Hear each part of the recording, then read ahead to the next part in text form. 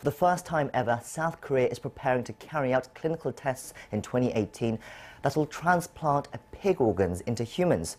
The organs come from a specially engineered mini pig that is about the third of the size of a regular pig, making it appropriate for transplant purposes due to its smaller size and function for humans. Uh, Park Soyun reports.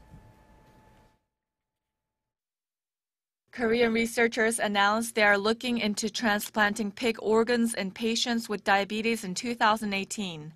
Seoul National University's Xenotransplantation Research Center was recently successful in transplanting pig pancreatic islets, which is a section of the pancreas that contains its endocrine cells, into a diabetic monkey. The results of the experiment showed that the monkey maintained normal blood glucose levels after receiving the pig's tissue. The next step now is to perform the procedure on humans, according to the center. As soon as we get approval from our institutional review board, we plan to carry out a clinical trial on two people at the end of 2018 and early 2019, respectively. If the test succeeds, it will mark the first animal to human transplantation case in the world. The first clinical test will use a pig organ in its natural state, but the next clinical test will utilize genetically modified organs to minimize rejection.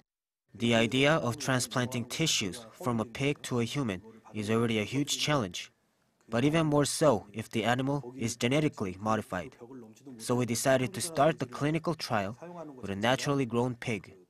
Many people around the world waiting for transplants die due to the lack of matching donors or viable organs. In the case of Korea, only 10% of those waiting for an organ end up receiving transplantations.